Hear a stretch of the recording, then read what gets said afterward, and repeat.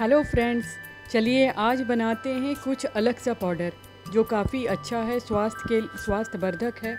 आपके जॉइंट्स में दर्द है या कहीं भी, और डायबिटीज़ हैं तो उसके लिए भी फ़ायदेमंद है। सेवन इंग्रेडिएंट्स मिला के हेल्दी पाउडर बना सकते हैं घर पे ही, और हेल्दी पाउडर है ये, पूरे बॉडी के लिए बहुत ही अच्छा होता है। रात में सोने के समय इसका एक चम्मच इसका पाउडर बना के पीना है। तो सारा पाउडर एक बार बना लीजिए और इसे ड्राई रोस्ट करना है।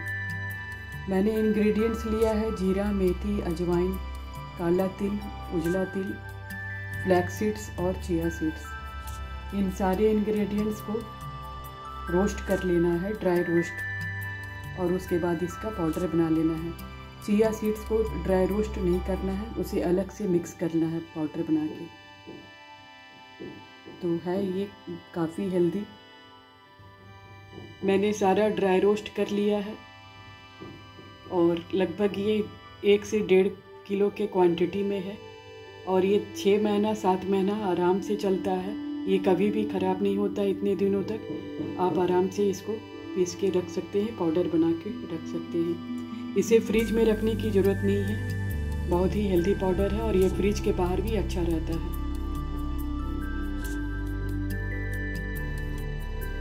मिक्सी में मैंने सारा इंग्रेडिएंट्स डाल दिया है और इसे ग्राइंड कर लेना अच्छी तरह से।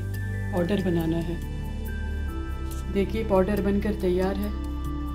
इसे आप डब्बे में स्टोर करके आराम से रख सकते हैं। ये छः से सात महीना, आठ महीना आराम से रहता है। ये बिल्कुल भी ख़राब नहीं होता है। और हेल्थ के लिए भी काफ़ी अच्छा है। अगर आपको ये रेसिपी पसंद आई है तो ज़रूर सब्सक्राइब करें। Thank you